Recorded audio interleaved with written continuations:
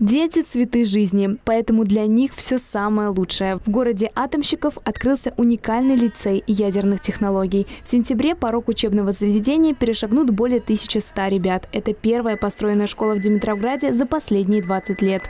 Здесь находятся крупнейшие научно-исследовательские центры, здесь находятся промышленные предприятия, и два из них – это научно-исследовательский институт атомных реакторов и Федеральный центр радиологии и онкологии – а, как раз с этими двумя градообразующими предприятиями у нас есть соглашение не только о профориентации, а об университетских субботах и обмене э, статьями, студентами, учениками и профессорами.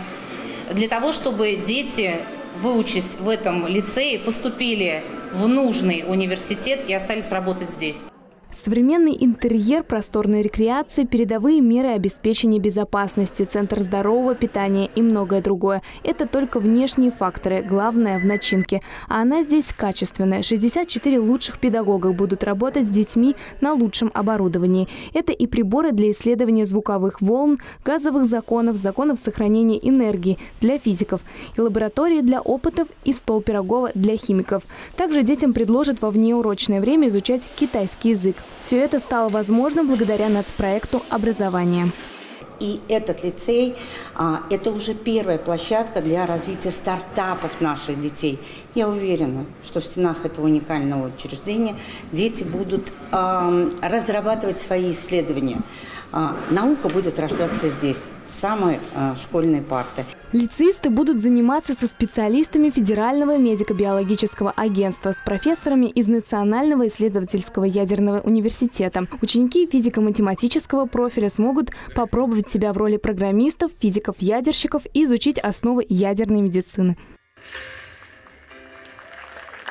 Лицей ядерных технологий приведен в полное действие.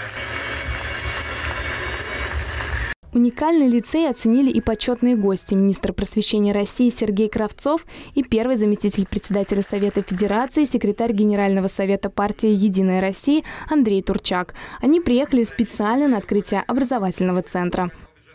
Такие школы будут строиться, открываться, несмотря ни на какие э, санкции, несмотря ни на какие запреты. Отдельно хочу поблагодарить Алексея Юрьевича за то внимание, которое губернатор Ульяновской области уделяет системе образования.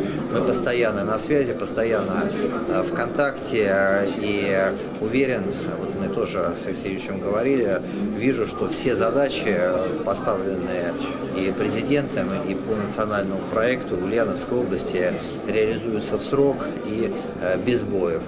В регионе активно поднимают престиж профессии учителя, проводят многочисленные мероприятия, посвященные году педагога и наставника. О новшествах предстоящего учебного года рассказал губернатор Ульяновской области.